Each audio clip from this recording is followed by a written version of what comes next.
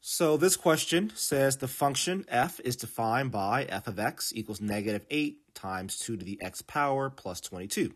What is the y-intercept of the graph of y equals f of x in the xy plane?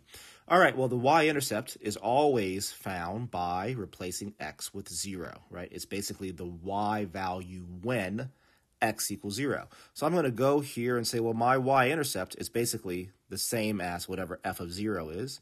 f of 0 would equal negative 8 times 2 to the 0 power. Again, we're replacing x with 0 plus 22.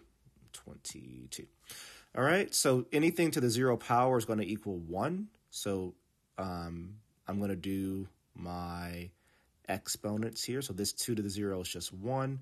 Then I have negative 8 times 1 becomes negative 8. Negative 8 plus 22 is um, negative 8 plus 22 is 14. So I have f of 0